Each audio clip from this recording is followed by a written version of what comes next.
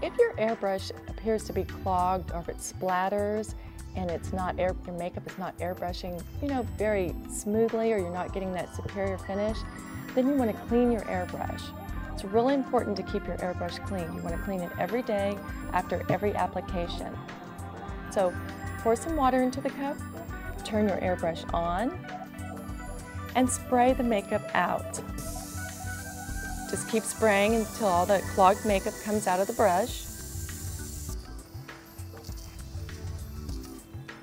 Now, if you notice that it's still splattering, then what you do, just follow along. No worries. Turn off the airbrush. Unscrew the tail of the brush. Loosen the retention bolt. Pull the needle out. And you want to clean the needle very well. Just take a tissue and wipe the needle on both sides, making sure you get remove all the makeup or get all the makeup off the needle. Then you want to take a Q-tip, clean the front of your airbrush, and also the bowl. So make sure both are very clean.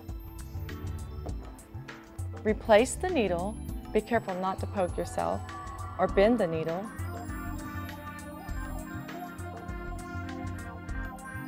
Screw the bolt back on and the tail and add some water. Turn your airbrush on. Put your finger in the front of your airbrush and bubble or boil the makeup back into the bowl and then spray out onto a tissue or in your sink. Should be perfectly fine then and your airbrush will work flawlessly.